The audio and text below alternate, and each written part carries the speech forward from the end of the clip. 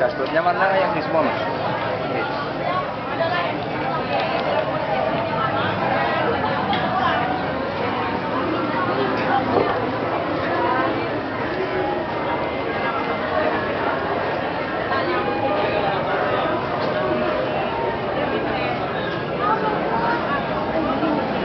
Thank you.